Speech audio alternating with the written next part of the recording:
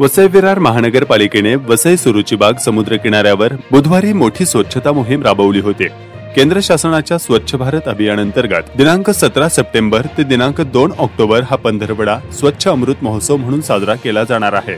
वसई विरार महानगरपालिकेच्या वतीने बुधवारी वसई विरार शहरात भव्य रॅली काढून वसई सुरुची बाग समुद्र किनारा पूर्णपणे साफ केला आहे.